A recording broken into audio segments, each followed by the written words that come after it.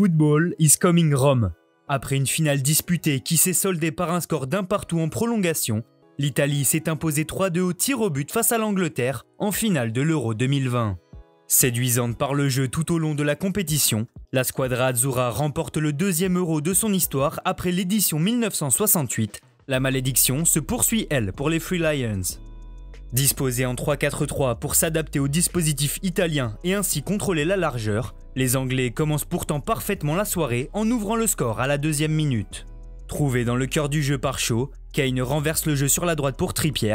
Le latéral de l'Atlético avance puis ajuste un centre au second poteau où Shaw arrive lancé et marque d'une belle volée du gauche. Porté par un stade de Wembley en feu, les Free Lions dominent le premier quart d'heure avant le réveil des Italiens. La nationale tient le ballon mais ne parvient pas à bouger le bloc anglais, la faute à des imprécisions techniques dans les 30 derniers mètres. La révolte arrive comme souvent des pieds de Federico Chiesa. Après un gros travail de percussion côté droit, l'ailier repique dans l'axe avant d'envoyer une frappe ras de terre qui vient flirter avec le poteau gauche de Pickford. Les Britanniques reculent de plus en plus mais parviennent à tenir le résultat à la pause. Au retour des vestiaires, les débats s'équilibrent, mais l'Italie se crée la première opportunité à l'image d'Insigne dont la frappe en angle fermé est stoppée par Pickford peu avant l'heure de jeu.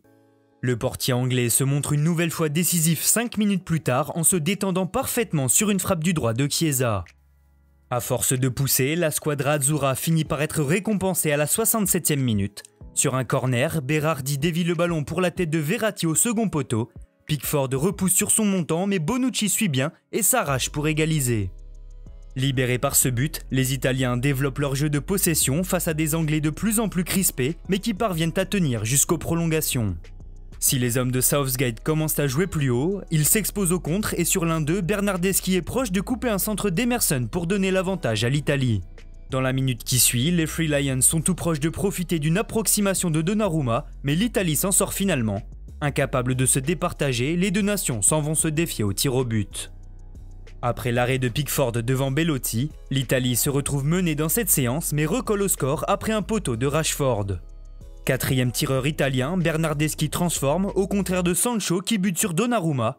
Jorginho a alors l'occasion d'offrir le titre à l'Italie, mais voit son tir être stoppé par Pickford. L'Italie mène toujours 3 buts à 2 et vient le tour de Bukayo Saka. Du haut de ses 19 ans, l'ailier d'Arsenal s'avance mais s'incline face à Donnarumma qui se couche parfaitement et offre la victoire à son équipe. Dans les tops de la rencontre, on retrouve donc bien évidemment Gigio Donnarumma. Battu dès la deuxième minute, le futur gardien du PSG n'a pas eu grand chose à faire pendant cette finale, mais s'est montré décisif au meilleur des moments en repoussant deux tirs au but. Dans la lignée de sa compétition, le numéro 14 italien Federico Chiesa a été virevoltant. Le joueur de la Juve a sonné la révolte et fait beaucoup de mal aux Anglais par ses percussions. Derrière, Giorgio Chiellini s'est montré très solide comme à son habitude, il a été le véritable leader de cette nationale. Plus haut sur le terrain, Immobilier a traversé cette rencontre comme un fantôme, Jamais disponible pour ses coéquipiers, l'attaquant a été muselé par la défense anglaise. Son coéquipier Nicolo Barella est lui aussi passé à côté de son match. Souvent génial, le milieu de terrain de l'Inter a été emprunté physiquement et a souvent été imprécis.